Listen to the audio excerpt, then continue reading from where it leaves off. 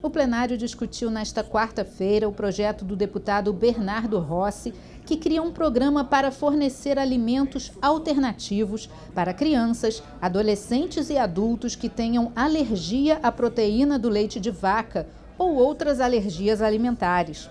A proposta estabelece que as secretarias municipais de saúde realizem campanhas de voluntariado para receber doações de pessoas físicas e jurídicas. O projeto aprovado retorna a pauta para a votação do texto final. Quem tem algum filho que tem alergia a leite ou qualquer outro é, produto é, alimentício, com certeza vai entender a grande importância desse projeto.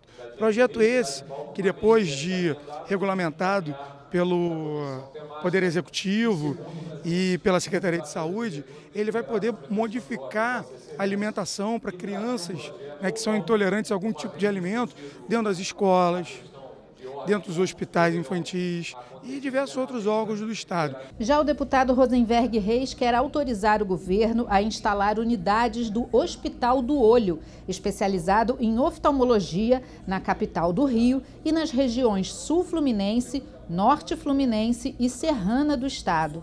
O projeto também autoriza o Poder Executivo a realizar convênios com os municípios para cumprir a lei. O texto recebeu duas emendas e vai ser analisado pelas comissões. O ex-deputado Renato Pozzolino pede ao governo a instalação de uma unidade do Poupa Tempo no município de Magé, na região metropolitana do Rio de Janeiro. O projeto foi aprovado e precisa passar por mais uma votação no plenário. E pode ser alterada a lei de diretrizes para a promoção da acessibilidade das pessoas com deficiência e com mobilidade reduzida.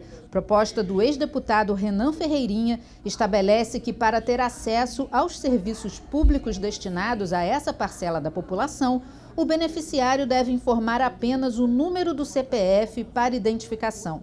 O projeto recebeu uma emenda e retorna às comissões.